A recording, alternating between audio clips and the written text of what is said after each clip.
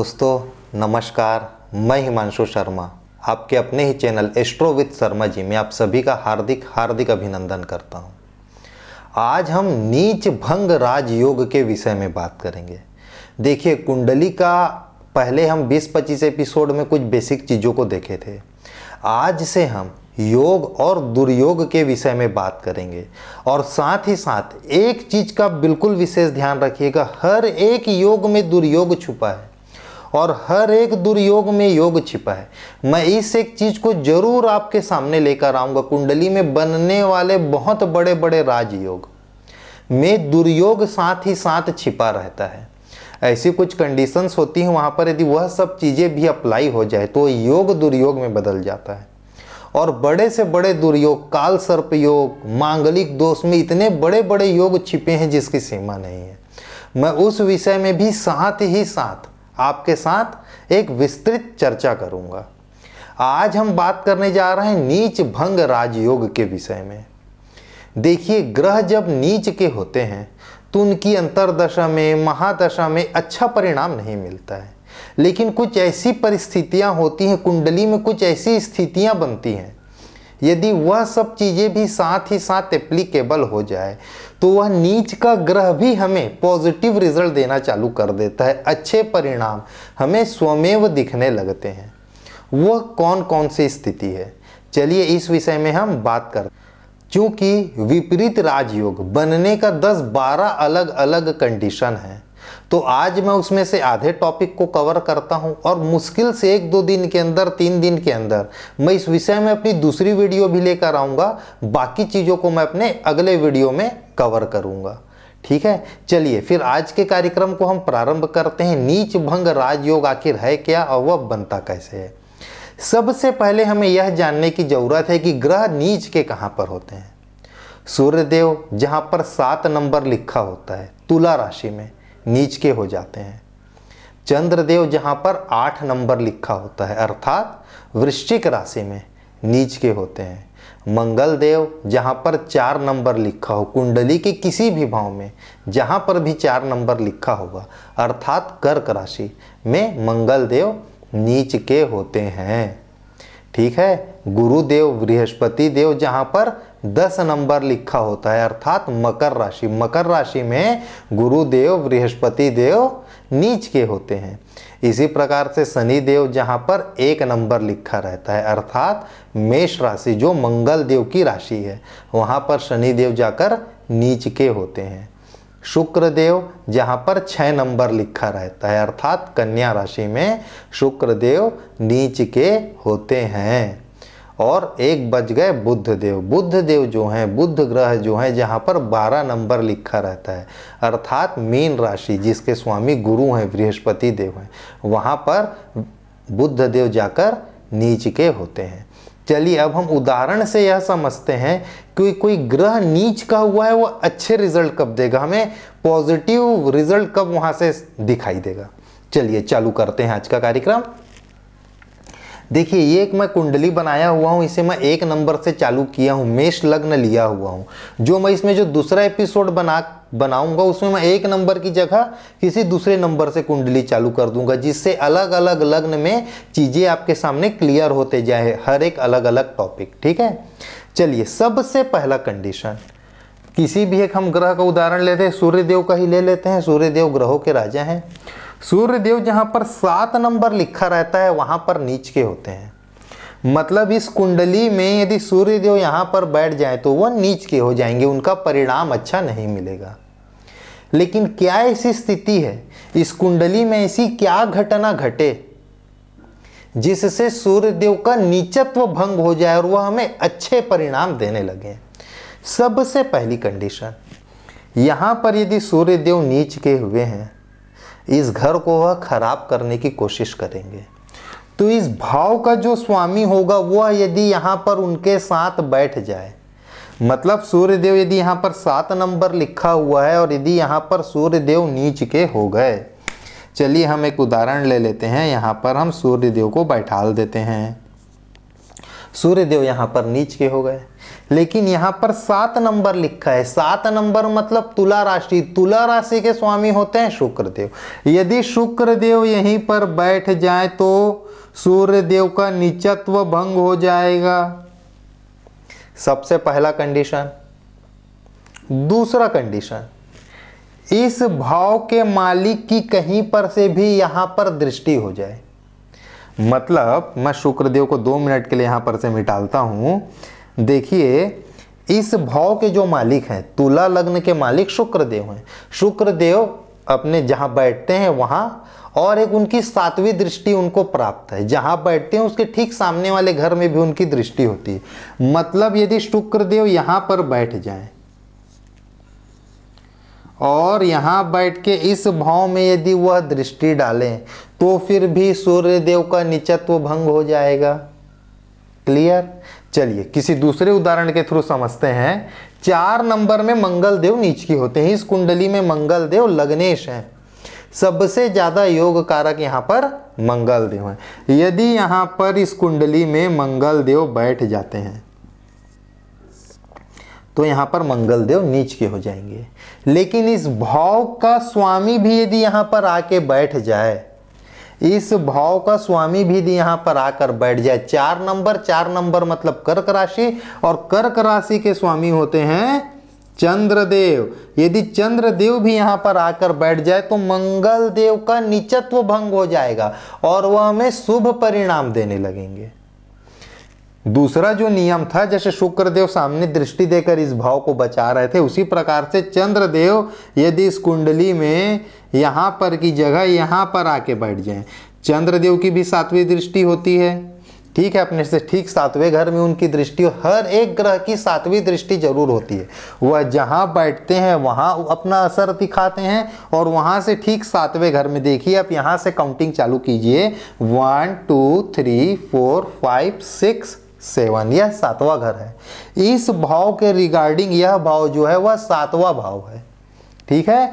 तो हम पहला चीज़ क्या देखें? जो ग्रह जहाँ पर नीच का हुआ है, उसके स्वामी वहाँ पर बैठ जाएँ तो नीच भंग राजयोग नंबर दो, इस भाव का स्वामी यदि कहीं पर से भी इस भाव में दृष्टि दे दे तो फिर भी नीच भंग राजयोग दो स्थितियाँ हो गई।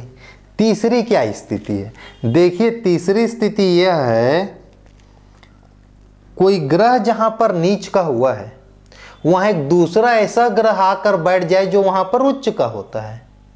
मतलब यदि मैं सातवें भाव से संबंधित बात करूँ, सात नंबर से संबंधित बात करूँ, जैसे भी सूर्य देव यहाँ पर नीच के हैं तो सात नंबर में उच्च के कौन होते हैं? शनि देव उच्च के होते हैं। तो यहाँ पर यदि शनि देव आके बैठ गए तो सूर्य देव का नीचत्व भंग हो जाएगा और वो पाँचवें भाव से संबंधित अच्छा रिज़ल्ट देने लगेंगे। देखिए थोड़ा सा समझिएगा, मैं इस कार्यक्रम के चालू होने के पहले एक चीज़ बोला था, हर योग में दुर्योग छिपा है और हर दुर्योग में योग छिपा है। सूर्यदेव की दो पत्नी, सूर्यदेव अग्नि के कारक, सूर्य और शनि दोनों के बीच में अच्छी दोस्ती नहीं है, यह वैवाहिक जीवन के सुख को थोड़ा सा कम ज़्यादा भी करेगा। मैं अभी बात कर रहा हूँ सूर्यदेव का निचत्व भंग करके पाँचवें भाव से संबंधित फलादेश के विषय में बात कर रहा हूँ। कुंडली का विश्लेषण बहुत ही ज़्यादा टेक्निकल विषय है। आप एक साथ दो तीन उदाहरणों को नहीं जोड़ सकते हैं। नहीं तो परिणाम एकदम अलग आने लगेगा। सातवें भाव में एक उपचय का स्वामी आ गया। अग्नि तत्व सूर्य देव आके बैठ गए और दोनों के दोनों के बीच में शत्रुता या थोड़ा सा वैवाहिक जीवन में खटपट खटपट बनाए रखेगा। नीच भंग सूर्य देव का हो रहा है यहाँ पर पाँचवें भाव से संबंधित। पाँचवें भाव से जो अकेले बैठने में जो एक जो परिणाम, जो अच्छा नहीं मिलने का जो एक उम्मीद था, यदि यहाँ पर शनि देव बैठ गए तो पाँचवें भाव से संबंधित परिणाम अच्छे मिलने लगेंगे। ठीक है? बहुत टेक्निकल होकर समझिएगा। तो कुल मिला के यदि यहाँ पर शनि देव आके बैठ गए तो सूर्य देव का निचत्व भंग हो जाएगा। वैसे ही चार नंबर में कौन उच्च के होते हैं? यहाँ पर मंगल देव अभी नीच के हैं। चार नंबर में गुरुदेव उच्च के होते हैं, बृहस्पति देव उच्च के होते हैं। तो यदि यहाँ पर मैं बृहस्पति देव को लाकर बैठाल दूँ, इस कुंडली में तो फिर भी मंगल देव का नीच भंग राजयोग बनेगा, मंगल देव के परिणाम बहुत ही अच्छे मिलने लगेंगे। गुरु का तो मिलेगा ही मिलेगा, वो उच्च के हैं तो। साथ ही साथ मंगल देव से संबंधित परिणाम भी बहुत ही अच्छे मिलने लगेंगे। यह तीसरा नियम था। सबसे पहले क्या देखे थे? जो ग्रह जहाँ नीच का हुआ है, उसका स्वामी वहाँ बैठ जाए शुक्र देव यहाँ आ जाए। नंबर दो, हम क्या देखे थे कि शुक्रदेव की यहाँ पर सातवीं दृष्टि हो जाए। जो इस भाव का स्वामी है, उसका जब मालिक यहाँ पर अपना दृष्टि देगा तो कभी भी उस भाव को गंदा करने नहीं देगा। यह दूसरा नियम देखे। तीसरा नियम क्या देखे? जो ग्रह जहाँ नीच का हुआ है, वहाँ एक ऐसा ग्रह आके बैठ जाए जो उस भाव में उच्च का होता है। शनि देव यहाँ पर उच्च के होते हैं, जहाँ पर सात नंबर लिखा होता है, जहाँ तुला राशि होती है, वहाँ पर शनि देव उच्च के होते हैं। यह तीसरा नियम हो गया। चौथा नियम, ऐसे ग्रह की दृष्टि ऐसे ग्रह की दृष्टि यहाँ पर पड़ जाए जो इस जगह में उच्च का होता है। मतलब शनि देव को तीन दृष्टियाँ प्राप्त है। तीसरी, सातवीं और दसवीं। शनि देव की तीन दृष्टि दृष्टियाँ मतलब यदि शनि देव यहाँ पर आकर बैठ गए तो शनि देव की तीसरी दृष्टि इस भाव में पड़ेगी। एक, दो, तीन। तीसरी दृष्टि यहाँ पर शनि देव की पड़ेगी। तो वह सूर्य देव का नीच भंग राजयोग बनाएँगे। ठीक है? या शनि देव सपोज़ यहाँ पर आकर बैठ जाते हैं। तो शनि देव की इस भाव में दसवीं दृष्टि पड़ेगी। सामने का भाव हमेशा सातवां भाव होता है। ठीक है? एक, दो, तीन, चार, पाँच छ सात। आठ, नौ, दस। शनि देव को तीन दृष्टियाँ प्राप्त है। तीसरी, सातवीं और दसवीं। कुल मिलाकर यदि यहाँ पर कहीं पर से भी शनि देव की दृष्टि पड़ जाए तो सूर्य देव का नीच भंग हो जाएगा। इसी प्रकार से हम मंगल के उदाहरण ले लेते हैं। बृहस्पति देव यहाँ पर उच्च के होते हैं। बृहस्पति देव की तीन दृष्टियाँ हैं, पांचवी, सातवीं और नौवीं। ठीक है? तो यदि यहाँ पर बृहस्पति देव बैठ जाएँगे यहाँ पर तो एक, दो, तीन, चार, पाँच, यदि गुरुदेव यहाँ पर आके बैठ गए गुरुदेव, यदि यहाँ पर आके बैठ गए अपने स्व राशि में, भाग्य के स्वामी होकर यदि अपने स्व राशि में आकर बैठ गए तो यहाँ से एक, दो, तीन, चार, पाँच मंगल देव के ऊपर उनकी पांचवी दृष्टि पड़ेगी तो फिर भी मंगल देव का नीच भंग हो जाएगा। ठीक है?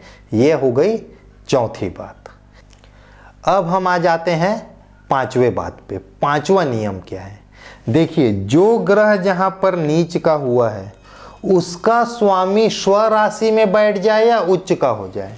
ग्रह जहाँ पर नीच का हुआ है, उसका स्वामी ग्रह यहाँ पर सात नंबर की राशि में नीच के हुए हैं, तुला राशि में।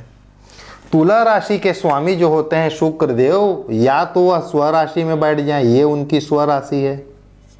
ये उनकी स्व राशि है। या उच्च के होकर बैठ जाए शुक्र देव बारह नंबर जहाँ लिखा रहता है वहाँ पर वे उच्च के होते हैं शुक्र देव यहाँ पर आकर बैठ जाए। तो फिर भी सूर्य देव का नीच भंग हो जाएगा और वह अच्छे परिणाम देने लगेंगे।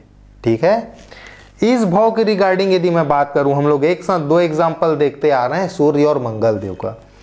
तो यहाँ पर के स्वामी या तो स्व राशि में आके बैठ जाए, चंद्रदेव, या चंद्रदेव जहाँ उच्च के होते हैं, वहाँ पर आकर बैठ जाए। दो नंबर जहाँ लिखा रहता है, वहाँ पर चंद्रदेव उच्च के होते हैं।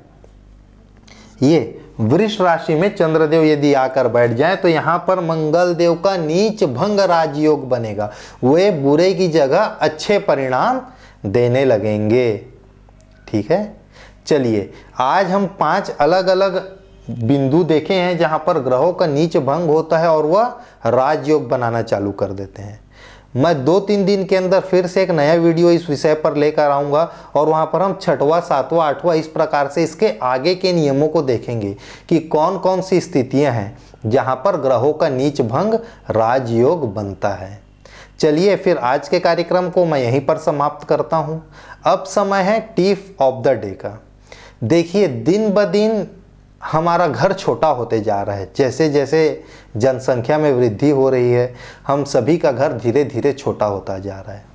जब घर छोटा होता है तो पूजा कमरे का स्थान सबसे पहले घर से गायब होता है। बेडरूम रहते ही है, टॉयलेट रहते ही है, इवन जो टॉयलेट पहले घर के बाहर रहता था तो घर के अंदर आ गया आज तो पूरा नियम ही उल्टा हो गया है। पहले के लोग घर में खाना खाते थे और फ्रेश होने के लिए बाहर जाते थे। आज ऐसी स्थिति आ गई है कि लोग भोजन घर के बाहर जाकर करते हैं फ्रेश होने के लिए अपने घर आते हैं। ठीक है ना भाई? कलयुग है, कैसे करोगे? देखिए, मैं आपसे यह एक चीज़ कहना चाह रहा था, अपन विषयांतर, हम लोग विषय से अलग हो रहे हैं। मैं आपसे यह कहना चाह रहा था कि भगवान का पूजा कमरा, सीढ़ी के नीचे न न रखें कभी भी। नंबर दो, बाथरूम से जुड़ा हुआ, भगवान का कमरा ना रखें। इन दो चीज़ों का बिल्कुल विशेष ध्यान रखें।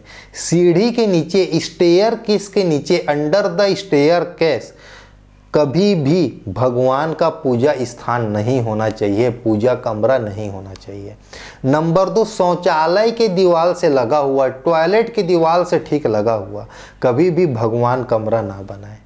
ठीक है? चलिए फिर आज के कार्यक्रम को मैं यहीं पर समाप्त करता हूँ। आने वाले कार्यक्रम में हम इसी कार्यक्रम को फिर आगे बढ़ाते हुए और कौन कौन सी बिंदुएँ हैं जहाँ पर ग्रहों का नीचत्व भंग हो जाता है और वह हमें शुभ परिणाम देने लगते हैं। इस विषय के ऊपर हम चर्चा करेंगे। चलिए दोस्तों, आज के लिए नमस्कार।